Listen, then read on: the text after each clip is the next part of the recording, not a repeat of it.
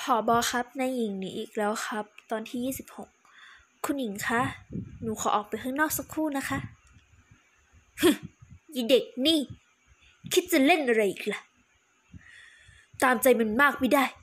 นี่เธอจะไปไหนนะเดี๋ยวก็หลงเหมือนคราวที่แล้วอีก เป็นสาวเป็นแซ่ไปเที่ยวข้างนอกบ้านมันดีหรือไงฮะ คือคนที่หนูจะไปหานะคะ เป็นแม่นมของหนูที่เลี้ยงดูหนูมาตลอด ท่านดีกับหนูมาก หนูเลยอยากจะไปเยี่ยมลูกพี่ลูกน้องของแม่หลีเขาหน่อยนะคะ คือแม่เขาให้ที่อยู่มา เขาบอกว่าไม่ค่อยสบายนะคะ หนูคิดถึงแม่หลีมาก เกรงว่าชาตินี้จะไม่ได้เจอท่านอีกนะคะเฮ้ยจุกจิกจังเลย ช่างเถอะช่างเถอะ อยากไปไหนก็ไปไป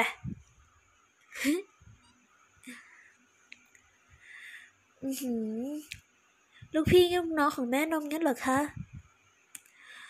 สมควรไปเยี่ยมเยียนค่ะ เป็นถึงแม่นมที่ดูแลเธอมาซะอย่าเออ แล้วนี่ก็เป็นค่าอาหารเสริม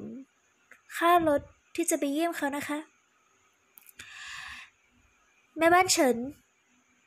ไปเป็นเพื่อนคุณหนูชิงโจหน่อยสิอืมไม่เป็นไรมั้งคะ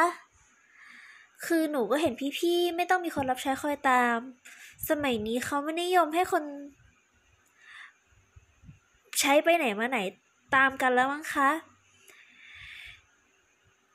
หนูไปเองได้ค่ะ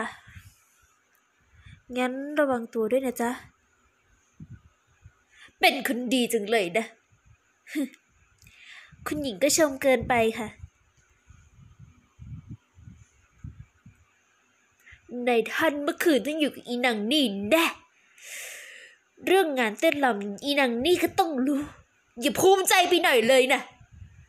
อย่าลืมว่าตัวเองอยู่ในสถานะอะไร ใช่ค่ะ คุณนายสั่งสอนถูกแล้ว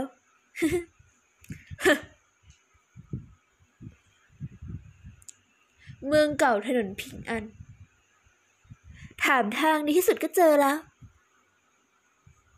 บ้านเลขที่สิบสองถนนผิงอัน ร้านยาตระกูลเหอ ที่นี่ผิดแน่ๆ ต้องลองเข้าไปหน่อยแล้วกันอะรับยาอะไรครับคุณหนู